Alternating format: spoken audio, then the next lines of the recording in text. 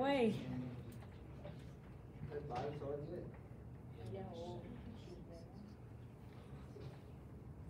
You can begin.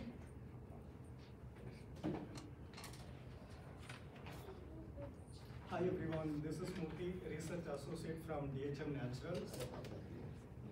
Uh, our project topic, uh, optimization of solvent extraction from ginger powder. Uh, our company is uh, DHM Naturals, it's a natural product startup. The company founded in September last year and the company located in Research and Innovation Lambton College, Sarnia. And our company team members are Daniel process chemist and Hardik analytical chemist. And uh, main overview of our project. We are just changing the pH of extraction extraction solvent. Uh, we use ethanol and we change the ethanol pH to acidic and basic level. And we perform the extraction of ginger powder. And we will in the end of the in this presentation we will give what results we got from this project. And uh, Hardik uh, will explain uh, next slides good afternoon ma'am and all of my friends. Uh, my name is Hardik Prajapati and uh, now I'm going to discuss about uh, like firstly contents, uh, like introduction and uh, what was we uh, expected and what we got and also like what kind of problem we faced. So firstly, what is natural health products? So it's a kind of kind of vitamins, minerals, and uh, you can see it can be in uh, any kind of form. Uh, it can be medicine, uh, also it can be in liquid form. And uh, there are uh, a couple of benefits of natural health product. Uh, firstly, there are uh, uh, not more uh, side effects as compared to allopathic, uh, allopathic medicine, and also we can get that uh, without prescription. But uh, it's better to purchase with prescription because everyone has different uh, biological system.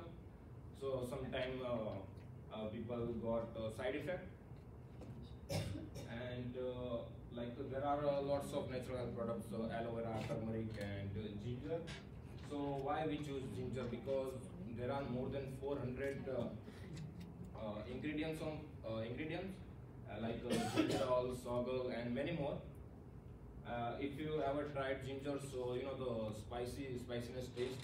So it's because of uh, gingerol and uh, like if we applied heat to, ginger or uh, if it's dry so the ginger will convert into shogaol like uh, this one is our like main product. We, what we extracted. And uh, you know the OH group because of uh, this it uh, gingerol converts into shogaol and the shogaol is one of the most active ingredients in ginger. So like there are many benefits uh, for anti-cancer and anti-inflation. Uh, if I talk about the research goals, so as uh, uh, we completed isolation, purification, and uh, like uh, uh, we got that what we expected, not 100%, but uh, we got uh, 70 to 80%. So we would like to like transfer this to on a big scale like firstly we have to try on a, like a physical body if it's uh, helpful or not. Because like if there is a company who uh, makes uh, same medicine so it doesn't like mean that they have a same same effect. Uh, like in budget uh, we didn't use like much chemicals or any uh, raw material. We just need uh, ginger powder and uh, just three chemicals so like mostly ma'am spent 500 bucks on HPLC. So our the total budget is 650. And uh, this was our like the basic timeline because we didn't uh, think that uh, we will get any issue. We uh, it's just uh, straightforward like uh, on couple of weeks we did data collection and extraction. But this one is updated timeline because on the first week we just did uh, extraction with water and uh, on the second week we did uh, with just a normal ethanol. We didn't do any changes with that. But uh, then on the third week we have to decrease the pH, but uh, uh, we, we have faced some issue with pH meter. We tried three to four different pH. Uh, then uh, after that we used the new pH meter and uh, we got uh, our result and we completed our extraction. Uh, then also like we faced some issue with HPLC on last couple of uh, weeks, but uh, also we like completed that. And uh, on the last one we did data analysis and report writing. So Daniel will discuss from here. Thank you. Good morning everyone. Actually, good afternoon. I'll be telling about you uh, about extraction and evaporation process. First, uh, let me tell you what is extraction. It's a simple technique to separate component from the mixture. Like for example, we usually uh, perform these types of uh, experiments only like at home also. If we are making a tea or a coffee, there is also extraction process. Like uh, we are uh, boiling any coffee or tea in water to extract caffeine and uh, some flavors from that. So this is a simple basic explanation of extraction process. Uh, we usually isolate uh, required components and uh, the components which we do not need we can throw or um, we can do whatever we want from that. Uh, mostly or uh, it is widely used, uh, the extraction process is widely used in oil and gas extract, oil and gas industries, in mining industries, uh, like uh, we have read in our petrochemical course, uh, the extraction is widely used to extract different things from petroleum by using different processes. So uh, there are some major techniques which are uh, used nowadays. These are some of the major techniques. Uh, although there are more, much more techniques which has been in use these days, but these are some of the major uh, techniques which we uh, use in industries, in laboratories for extraction purposes. Most common is distillation. As I have told you, like uh, that uh, example uh, of tea, uh, it's simply we are boiling something in a water. And second one is solid phase extraction. Here we use uh, chemical and physical properties to extract and uh, uh, separate the different materials. Supercritical fluid extraction. Here we use CO2 and uh, temperature to extract. Then uh, the method we are using is Soxhlet extraction. This is the method which we are using. I will tell you later why we are using so Soxhlet extraction method only. Then we have ultrasound also. Uh, here we use sound waves or sound energy to extract uh, our products. Then we have acid base extraction also. Here we use uh, the change in uh, the acidity and basicity. We can't use that because our main purpose uh, of uh, our project depends on playing with acidic or basic components. Soxhlet extraction. So uh, let me introduce you with the Soxhlet extraction. The Soxhlet extraction is a process which ensure intimate contact of sample matrix with extraction. Here there is a uh, contact of solvent and uh, our compounds or materials which we are using. It was invented in 1879 by Franz von Soxhlet. It was originally ex- uh, invented for the extraction of lipids from the solids. There are three main sections in Soxhlet extraction. First is percolator, uh, in which boiler and reflux uh, is counted, and uh, second one is thimble. This is a thick uh, filter paper which we use to put our sample. And the next is siphon mechanism. Uh, I will tell you in next. So, uh, as I've told you that I will tell you why we use soap Soxhlet extraction only. So here are some reasons. It is uh, very simple and clear. When we perform our uh, experiment, we can clearly see that how it is going because it is uh, we can see it through naked eyes. It is very simple and anyone can do it. It is a continuous process. We can start it once and the cycle goes on for like we can complete as many cycles as we want. We don't need to touch it. We just need to keep an eye that whether it is uh, running properly or not. Then low flow uh, like we need here uh, it's like we are not wasting our uh, we can use our solvent again after using uh, this uh, uh, solvent sorry this Soxhlet extraction we can use because uh, we will treat it with a rotary vapor and we can use that uh, solvent again then uh, it has a high extraction efficiency so this is our apparatus. Then here I will be telling you that how it works. So uh, this is a round bottom flask and this is a heater. We need to connect this heater with the current and uh, we need to control the current as well. If we increase the current, the heat will increase and the process of evaporation increases. From here, uh, there is a thimble. Yeah, this is a thimble. The thick uh, uh, filter paper. It is a type of filter paper only. We need to place our sample inside this, and we need to start it from here. We need to. Uh, we just have to uh, start the heating process. Then uh, the sam- uh, the solvent evaporates and it comes in contact with this uh, condense, uh, condenser. The condenser is connected with the cold water because when this steam comes in contact with the cold water then it falls down to this chamber where we uh, have our sample. So uh, it is collected here. When it comes to a point of reflux then it reflects back to uh, the round bottom flask. And this cycle keeps on this cycle will be continue as many times as we want. Uh, we have modified our pH.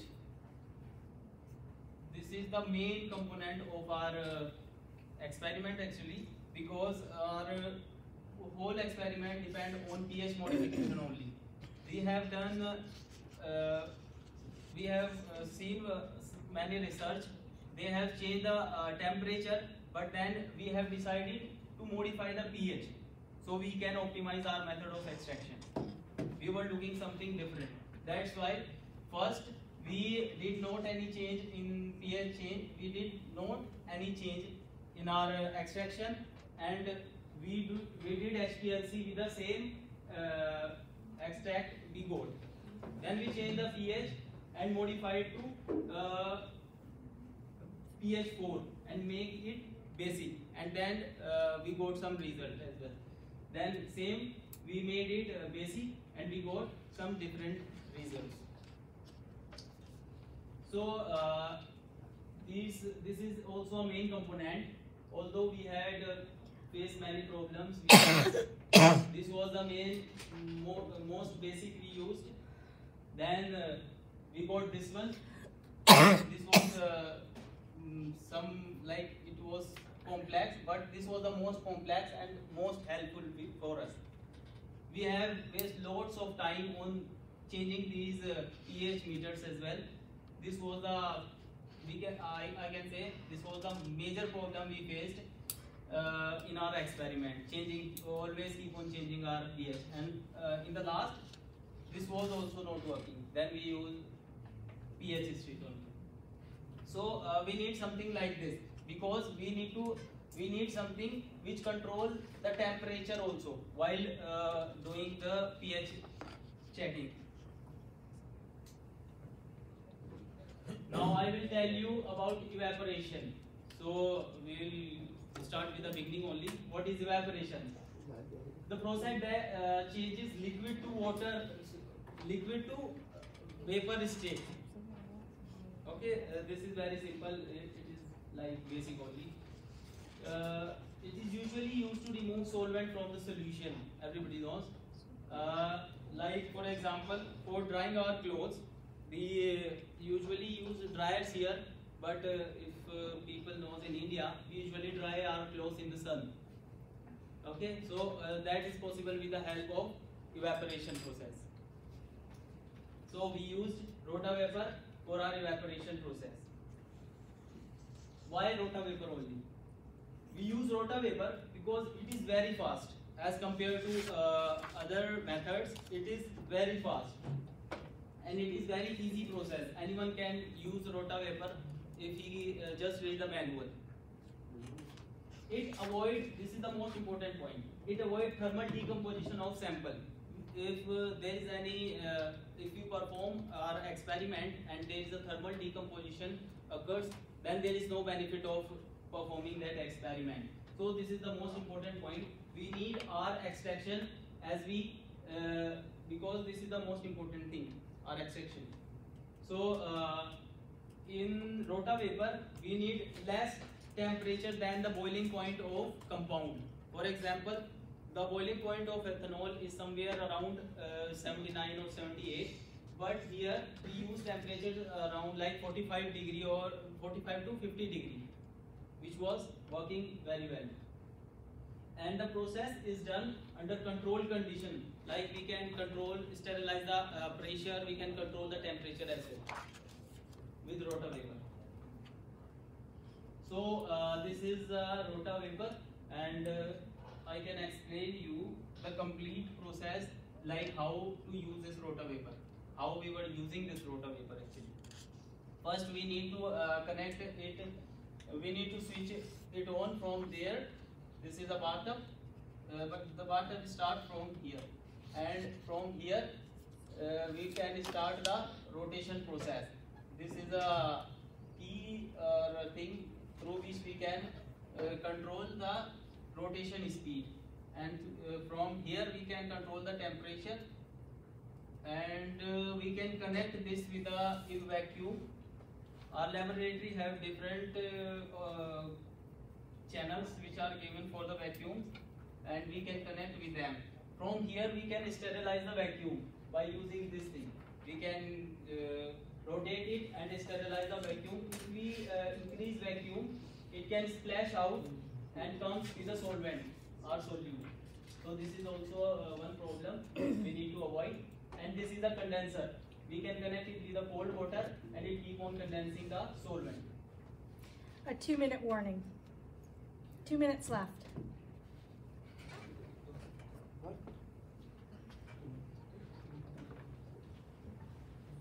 Uh, next, uh, after the uh, extraction and uh, evaporation, then its analysis. Everyone knows what is the general analysis. There is two types, qualitative and quantitative. In the analytical industry, people using different kind of instruments.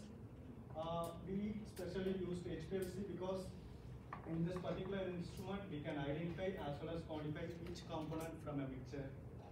Uh, we can identify the compound based on the retention time of the result. And for the quantification based on the peak height or peak area we can find the quantity quantity of the compound. And uh, these are the HPLC methodology. For the instruments we use Agilent's 1260 Infinity 2 and the software we use control panel. Uh, in the HPLC we majorly use uh, like uh, mobile phase stationary phase and uh, we need to control injection volume, temperature, flow rate, and uh, as well as detector. In HPLC, we can use different type of detector, for example, uh, a diode array, array detector or UV visible detector. Uh, this is how we prepare the sample preparation. TMJ of uh, ginger extract and we added 50 ml of methanol and then we filter using syringe filter and we collected in HPLC sample vial. Uh, we performed with the manual injector, but in the industry, uh, companies using auto sampler with the HPLC. Uh, this is for HPLC result for uh, reference standard. In the seventh minute, we can clearly see the peaks. This is for sample peak. Uh, here you can see how much amount uh, present in this particular extraction. Uh, these three for, uh, this one for no pH change, this one for basic and that one for acidic level. Uh, this is our final HPLC results.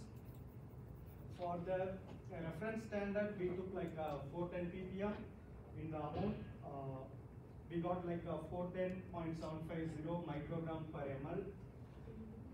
It's like almost it's like an exact value we got. From the sample one, uh, no pH change, we got like a one, 179 microgram per ml. Uh, in sample two, we modified to pH level basics and we got like uh, 228 microgram per ml. And sample three, we changed to acidic level and we got like a 268.552 microgram per ml. So based on the HPLC results, we can clearly see uh, if you change to uh, pH level to acidic, it clearly shows like 49.27 percentage of the increase in the extraction yield. And if we increase the pH to basic level, you know the ethanol pH is 7.3, it's like almost neutral. If you increase to basic level, uh, we can clearly see like 26.87 percentage of increase in the extraction yield. For the future growth, what we need to do is uh, repeatability of experiments. Like uh, we performed one more extraction and the operation for the repeatability, but uh, due to a lot of issues with the HPLC column, we are not able to perform that analysis. So we need to do repeatable experiments and the sample degradation as well. We need to check about the sample degradation in HPLC analysis because after like uh, one month of period, we are not getting any peaks for standard solution. That's all, thank you.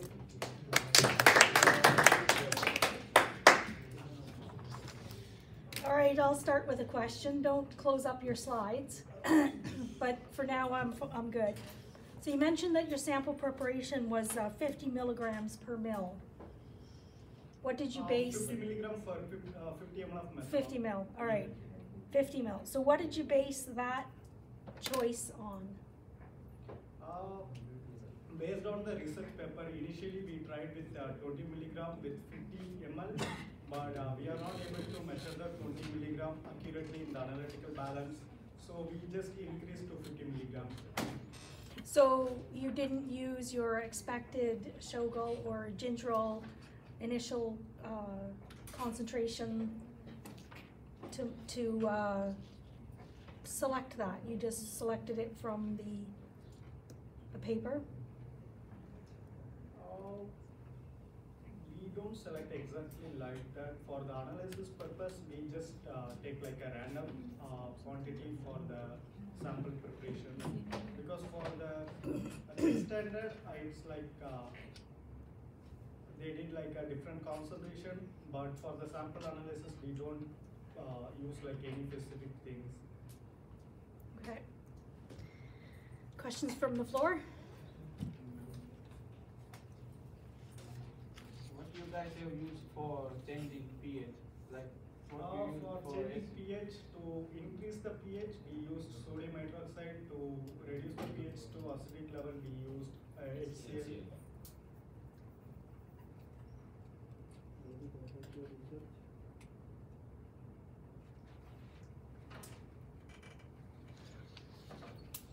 Anyone? Go ahead. You guys use Soxhlet extraction, right? So you guys think like uh, any other type of extraction you use and you can get like better result, like super critical or anything else? No, actually our extraction is really good. We are struggling with uh, only analysis. Yeah, you can clearly see based on the HPLC results, if you just change the pH modification, if you change to acidic, you can clearly see like a forty-seven percentage increase in the extraction yield. So I think that's really good one. What more could you have done if you have more time? Um, maybe I can do like a repeatability, you know, uh, I tried to repeat the same experiment with no pH change, but I'm not able to analyze with HPLC column issue and the standard degradation.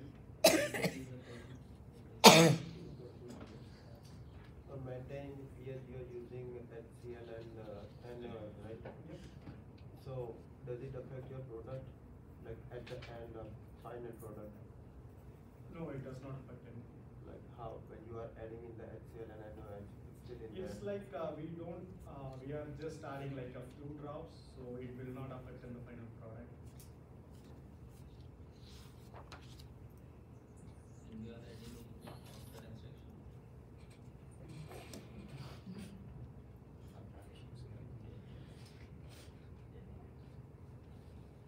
Else? Okay. Remember, and I forgot to remind you, but I'll remind you for the, for the final presentations, take turns answering questions. Murthy, I think you answered almost all of them, so let the others take some questions. All right, so five minutes to, um, finish the, uh, evaluation if you need it.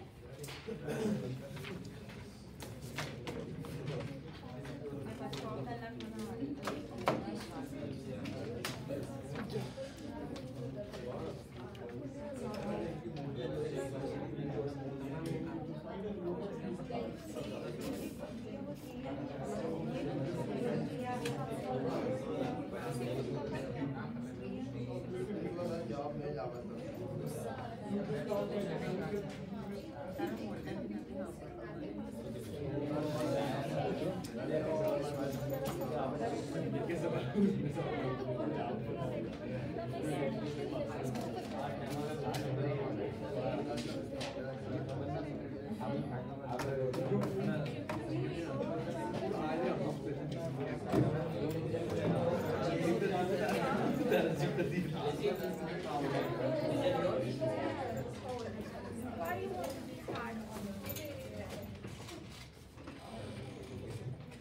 you guys sign attendance?